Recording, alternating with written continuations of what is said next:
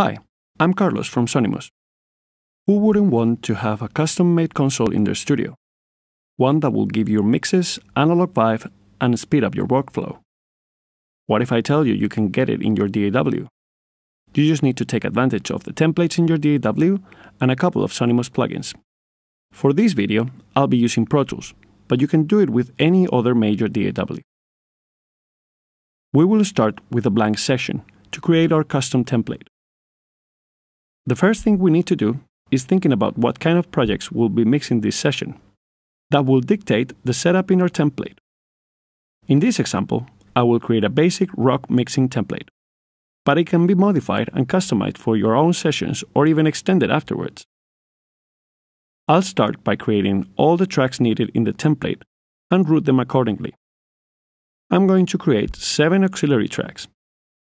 These are going to be our summing buses that will include guitar bus, bass bus, drum bus, lead vocal,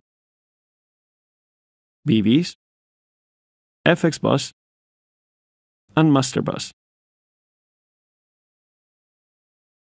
I like to bring my mixes live, so I'll add a post fader send from the master bus to an audio track where the mix will be recorded once ready. I'm also going to add some reverb and delay effects tracks with plugins that I like to use regularly in my mixes and route them to the FX channel. Now that we have our tracks ready, let's add our plugins. First, we will add an instance of Britson Bus on every auxiliary bus we created, followed by the Burnley 73 and Tuco. You can choose the order of these last two based on the desired processing effect. For example, in the bass bus, I will put Tuco first and Burnley afterwards to make the dynamic of the bass more consistent and then adjust its tone. In our master bus, to spice things up, instead of Tuco, I like to add an instance of Satson CS with only a compressor unit after the Britson bus. Now, let's engage the groups in the Britson master bus and arrange the groups accordingly in the rest of the tracks. That way, you will have control over your mix from the master Britson bus. If you find yourself using similar EQ or compressor settings on your mixes, you can set those up as your starting point in your template. This way, you will save time and make your mixing process more creative. For this template, I'm going to set up my master bus compression with a low ratio, slow attack, and auto release.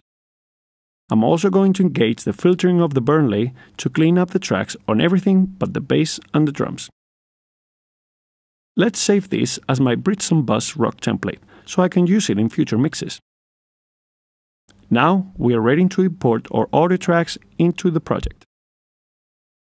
Once that's done, we can add Britson channel plugin on every single audio track, assign those to the dedicated Britson groups, and route the tracks to the corresponding buses. Let's apply some gain staging using Britson, and we can start focusing on mixing our track with some instant analog vibe thanks to our template. How would you set up your template? Let us know in the comments below. And don't forget to follow Sonimus for more tips and tricks for mixing with Sonimus plugins.